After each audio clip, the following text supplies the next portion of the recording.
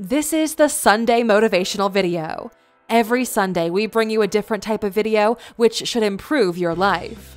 Today, we're looking at 15 reasons why businesses fail. This is Billionaire Mondays. Every Monday, we present you with another billionaire.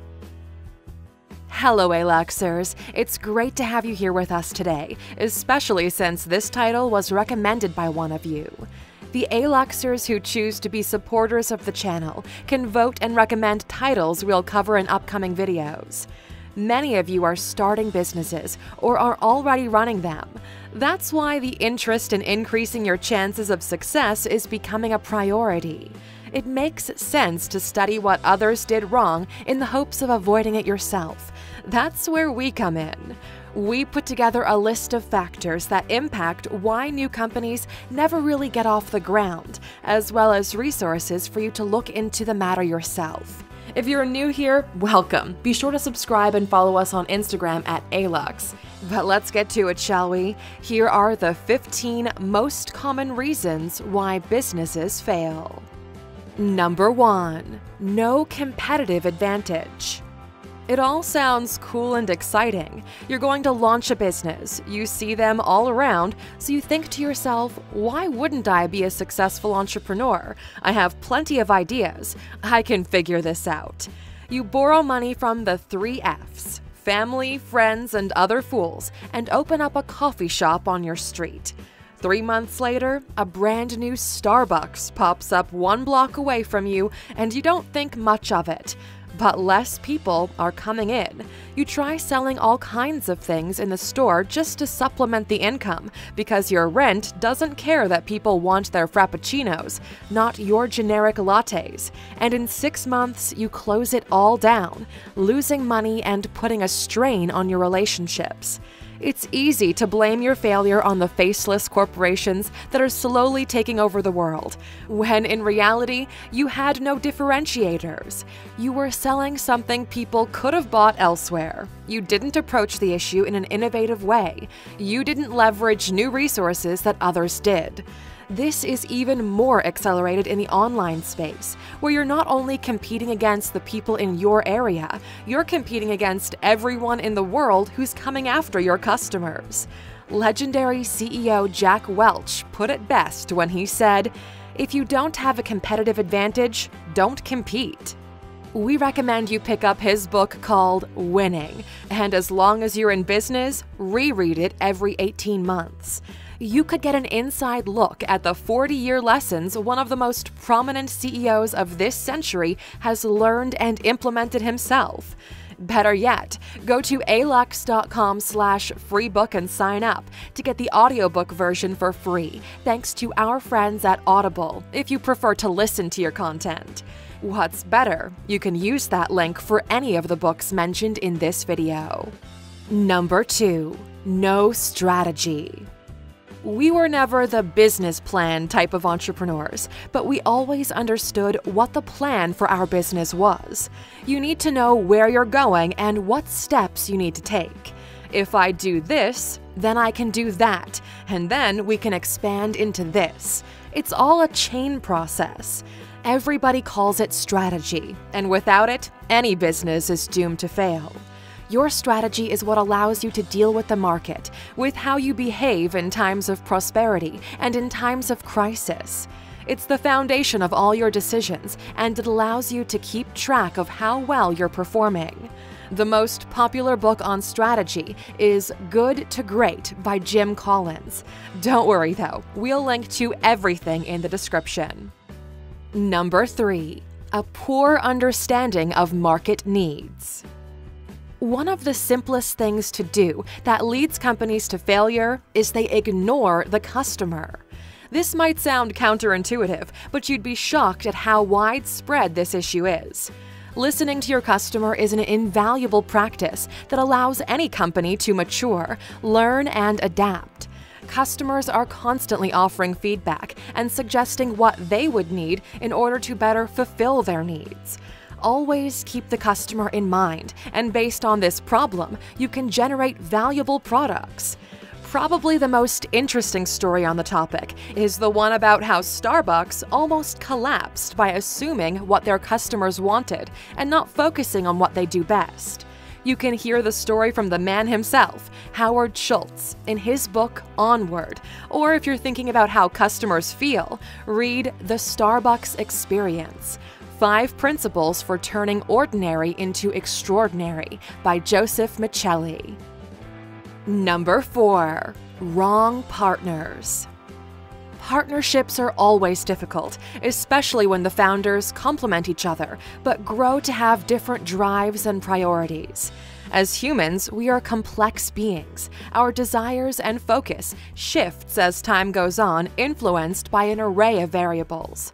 Imagine being a year into a project and finding out your partner no longer feels the fire you do about this business, or they simply have a different idea of what the business should look like. You both go your separate ways, and both your likelihood of success goes down the drain. That's the mildest of outcomes. Talk to any venture capitalist in Silicon Valley, and they'll tell you crazy stories about founders stabbing each other in the back in order to take the upper hand. Even the most famous companies have similar stories. The founders of Snapchat kicked out the third co founder when the business started doing well.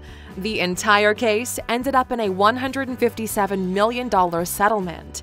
It's hard to go it alone, but if you can, we definitely recommend it. Number 5. A lack of business acumen. To be honest, some people have more of a sense for business than others, the same way some people are better at drawing or writing poetry. Business is basically math you do for profit. This is also one of the reasons most people go broke or end up becoming poor. They're bad at business where the business is yourself understanding how much it costs to run a business, how much each employee needs to generate in order to sustain their own job position. All of that leads into how much you price your products or services. The more businesses you study and understand, the better you'll be able to connect the dots and take advantage of opportunities coming your way. The good news is, you can easily develop your business skills if you choose to. A couple of years ago, we read The E Myth Revisited by Michael Gerber. It's a book on why most businesses don't work and what to do about it. In it, there are great lessons about why some people find it difficult to switch from being an employee to running a business. We recommend this book to anyone who's just now starting their first business. Number 6 a lack of vision. Most companies that survive have a long term vision. They know where they're headed and what they're looking to become. This vision is brought on by the early team, and it's used as the North Star for the business's journey. Most people get this wrong, despite it sounding simple. They all think world domination or being the most profitable company in the world, but these are macro measurements. Instead of spewing out one number and running with it, work a little bit backwards from it. What does it mean to be a billion dollar company? How many customers do we need? How much product do I need to sell? How many employees will it take? What kind of infrastructure will be in place? How many geographies? How big am I today? What is a realistic growth rate we can achieve to close in on our North Star? Once you start digging in a little bit, the vision gets clearer and clearer. For this point, we'll recommend an already classic, Start with Why by Simon Sinek. If you and your employees don't understand the reason why the vision was put in place, you're unlikely to make it. Number 7. Micromanaging. A one person business doesn't make you a boss. You're the only employee of a company you just formed. Basically, you're still an employee, but now you've got way more things to take care of and you'll be paid a lot less. Eventually, you'll bring the first person in. The biggest temptation you'll face when hiring your first employee will be to micromanage everything he or she does. You've been accustomed to doing things a certain way and paying the most attention to detail as possible. Here's some brutal truth almost nobody cares to admit. None of your employees will work as hard or care as much about the business as you do, and that's just a fact. The goal here is to train your employees in a way that they can improve themselves in time. Set the guidelines, point them to your North Star, and give them the freedom to not feel like machines in an assembly line. Unless, of course, you're running a literal assembly line and you can't afford robots. Number 8. Not hiring the right people. Finding the right people is almost a form of art. You need to have a certain flair for it. A valuable employee will help you to grow a business. A couple of them could help you navigate even the most dangerous waters. But to keep this boat metaphor afloat, a bad employee is like having a hole in your hull. It doesn't matter how hard you're rowing, you're still gonna drown. So, how do you find the right employees? There are a bunch of books out there talking about how to prospect, create systems for hire, vetting processes, and more. Most of these books are aimed at large corporations with hundreds of thousands of employees, so they're probably not the right recommendation for you. So we looked at our own situation and asked our entrepreneurial friends about the hiring process, and we came around to a golden rule that seems to apply to all of our businesses, and that is hire people that are smart enough to know when they don't know something, and who have the ability to learn, that want to go on a long journey with you. That's basically the gist of it. You want people who understand what you're asking them to do, not just repeat the same process. These people will earn more because they're able to provide you with additional value by saving you time instead of constantly needing to be handheld. One thing we want you to remember that's incredibly valuable employees cannot read your mind. You cannot hold someone accountable for something you didn't take action to train and correct. Number 9. A lack of capital. If we were to ask most of you what is the main reason why you don't have a business, probably the majority of you would have said a lack of money. It's understandable to some degree that you believe you need large amounts of money in order to start a business, but really that's just an excuse lazy people push forward in order to justify their lack of effort. Money is never an issue when you have time and skill because you can always trade in that combination to earn more money and then deploy it in your business. Most wannabe entrepreneurs fantasize about somebody coming up to them and giving them a large sum of money for them to play around with. You might even be one of them yourself. The truth is, it's easy to make more money when you already have money. The true differentiator from the real and the pretenders is to make money when you don't have any. Lack of capital is never the main reason why businesses fail. It's usually poor management of existing resources. The idea is bad, the implementation is bad, and so on. We were looking to recommend a book or resource for this one, but to be honest, the best recommendation is to cut down on some of your sleeping hours and figure out how to obtain necessary capital by working projects or side gigs while you're building your business. This would be a very short commitment to get that initial ball rolling, and then it's up to you to manage those funds. Number 10. Scaling too fast. We talked about not having money. Now let's talk about having too much money on your hands. This is why large startups fail. Here's a story. Let me know if it sounds familiar. Company X raises large amounts of money. They celebrate and they start hiring a bunch of people. They were not turning a profit, but had a long term vision in the same way that Google did. They even get some media coverage, and people speculate they might be onto something. Investors are interested but are suspicious about the team, the product, and their lack of revenue. Crazy numbers are thrown around the company's valuation. Three years later, you hear the company is closing down, filing for bankruptcy, and laying off hundreds of employees.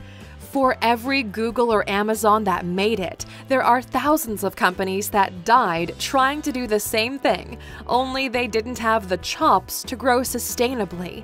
Instead, they put too much gas on the fire until the entire place burnt down. Not every business is meant to be a large multinational one with thousands of employees. In fact, the more people there are to manage, the higher the chance that things will spin out of control. The smart trend in business is staying as small as possible. This gives companies the ability to adapt and reinvent themselves quickly. Scaling up too fast might be the end of your enterprise. One of the best books of 2019 is focused on exactly this topic. It's called The Company of One by Paul Jarvis. It's perfect for young entrepreneurs or freelancers looking to grow into a company. Signing up at alux.com slash freebook not only will get you an audiobook for free, but you can get this one as a free edition. Number 11. Not adapting quick enough. Speaking of your ability to remain nimble and adapt quickly, if you're unable to read what's happening with your business, to understand how things are going, and more importantly, where things are going in the industry you're in, you might be left behind. Some people just don't see the changes coming, and that's how you end up with the blockbusters of the world. Never before in the history of commerce did we have this fast of a pace when it comes to innovation and shifts in customer behaviors. Individuals no longer have a single career their entire lives. Instead, they need to reinvent themselves constantly. The same thing happens with companies. Google started as a search engine, then became an advertising company, then a technology company that's pushing out smartphones and tablets. Apple started out as a computer assembler, shifted to the iPod, then the iPhone. Now it's generating a large portion of its revenue from dongles and accessories to its product line. It's investing massively into media content to compete with the likes of Netflix, and next year they're supposedly releasing their own electric car. And these are mammoth companies. They're not as agile as you can be. Start being open to reinventing your business, otherwise, you might get crushed. Number 12. The inability to sell. Cash flow is the oxygen of any company. As long as you have money coming in, you're alive. The problem most first time entrepreneurs have is they think if they build it, people will come rushing over to purchase what they're offering. The reality hits you like a brick in the face once you realize nobody cares what you've built, even if it can help them. Everyone is bombarded by people wanting to take their money from them in one way or another, and you're just another one of the crowd. Selling is the art of telling compelling stories that simplify the benefits your products or services will have in someone's life the better you are at telling stories, the more oxygen you can feed into your business and the longer you'll stay alive. In terms of marketing, we recommend Seth Godin's books. For sales, there are a bunch of them. Number 13 Trying to do too many things at once. It's super easy to get distracted by all the shiny opportunities around you when you have an entrepreneurial mind. We're going to be a software company, but we'll also do hardware and merchandising and licensing and SEO and pay per click and social media marketing and stop. Find one thing that works for you and get really, really good at it. Once you've hit a growth ceiling in that regard, you can slowly branch out to what makes sense for your business. This is a constant problem for most companies, and it leads to the dilution of the vision.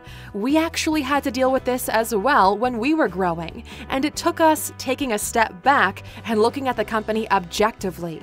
If you try to do too many things at once, you're neglecting what's actually important, and it's hurting your chances of success. A great resource on this topic is a book called The One Thing. It helps you focus your actions to achieve extraordinary results in a particular field. Number 14. Failure to use the resources at hand.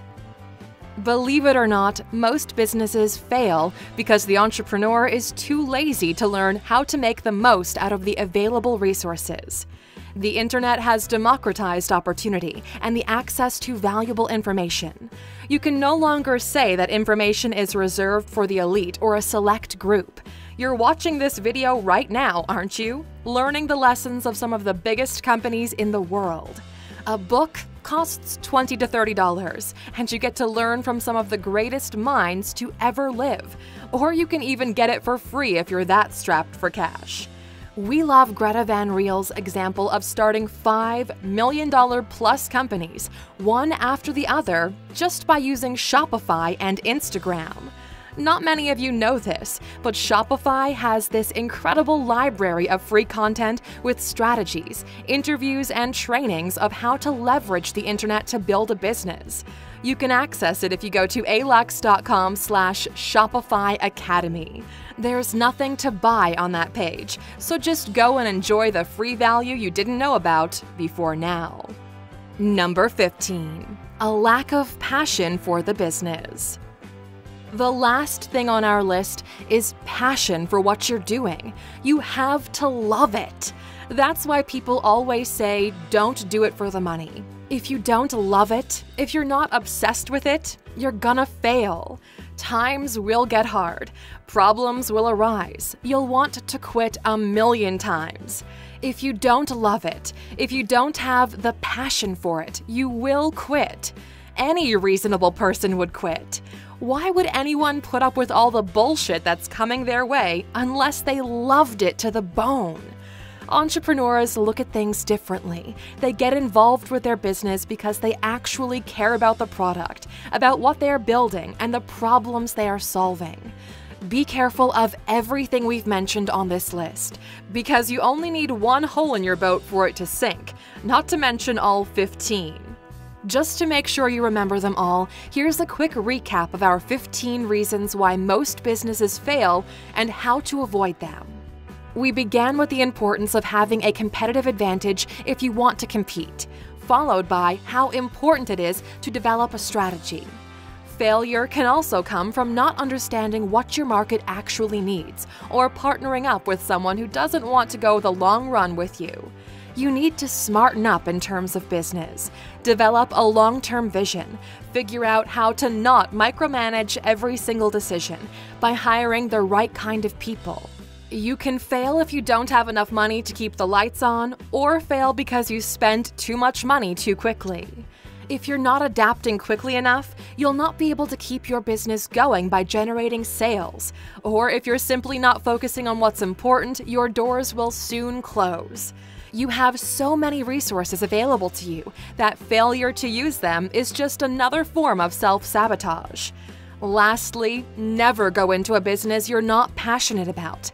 Any decent human being would quit when things get hard if they're not really passionate. Now, Aluxers, we really hope this video helped to expose some of the vulnerabilities in your own projects, and hopefully, you'll take the necessary steps to improve your odds of success. It would be really valuable if you could share in the comments one of the difficulties you've encountered in your business. There's a lot of hidden value that comes from our community who's got extensive experience with situations like yours. Share your struggles with the community, and we're sure they'll provide some valuable insights. Oh, you're still here, are you? Well, after all this time, you're still watching these videos until the end, and that makes you a true Aluxer. Of course, we're gonna do the bonus fact for you. Number 16. You're too scared. Over 95% of businesses fail, not because any of the valid reasons we listed here, but because people were too scared to take the leap. Fear is what is stopping most people from starting a business. The fear of embarrassment, that people will laugh at their dreams. The fear of not knowing enough. The fear of insecurity. The fear of not being good enough. Who in their right mind would quit a solid, secure, high paying job to go struggle for a dream that may never come true? But you know how you can be 100% certain it will not happen for you? By staying there, by not taking that leap. You need to take the leap. The person who doesn't jump will never know what it feels like to fly. We'd like to end this video with one of our favorite quotes Birds born in a cage think flying is an illness. Take today and think about that, and hopefully, starting tomorrow, you'll be spreading your wings. If you're ready to break free from your cage, please write free in the comments so we know who's brave and serious about this journey. Thank you for spending some time with us, Aluxers. Make sure to like and subscribe so you never miss another video. We also handpicked these videos, which we recommend you watch next. Thank you for being an Aluxer, and we'll see you back tomorrow.